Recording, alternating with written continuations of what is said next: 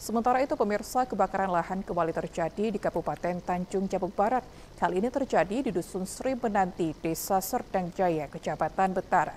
Pada Kamis sore, sekitar pukul 15.30 waktu Indonesia Barat, sekitar 2 hektar lahan sawit terbakar. Hal ini dibenarkan langsung oleh Kepala BPBD Tanjung Barat, Zulfikri.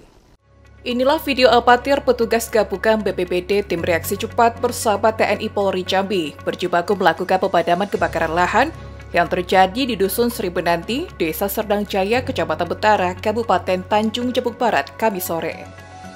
Beruntung lokasi mudah dijangkau sehingga tidak menyulitkan petugas gabungan melakukan proses pemadaman, sehingga dua hektar lahan sawit dapat dilakukan pendinginan oleh Satgas Gabungan.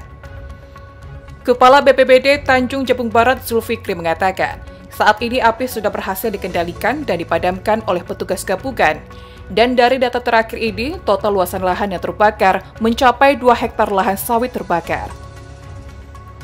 Selain itu, dua hari berturut juga terjadi kebakaran lahan di kecamatan yang sama.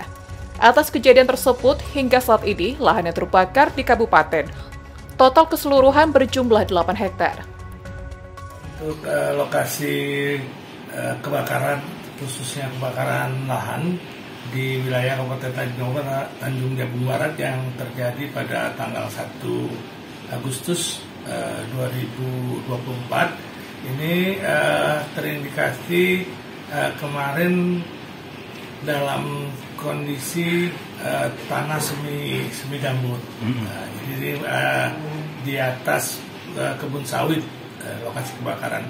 Ini untuk penyebabnya masih dalam proses lidik oleh pihak kepolisian dan kurang lebih uh, 2 hektar luasan lahan terbakar.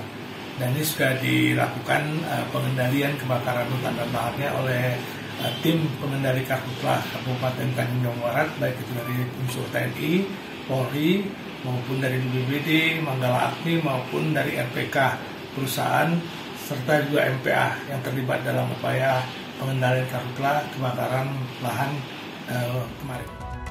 Saat ini petugas masih tetap standby tidak jauh dari kejadian tersebut. Ini dilakukan agar dapat gerak cepat jika kebakaran terjadi. Surya Kurniawan, JEK TV, melaporkan.